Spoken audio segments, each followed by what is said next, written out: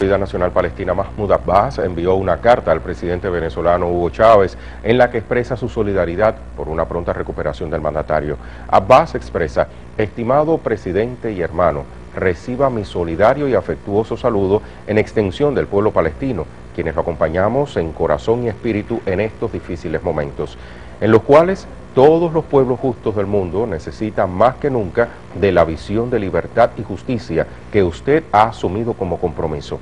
Asimismo, aprovecho para confirmar ante usted los estrechos lazos que nos identifican como soldados de la patria, de nuestra libertad e independencia.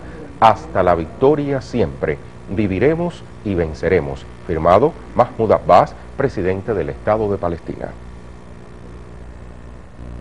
Este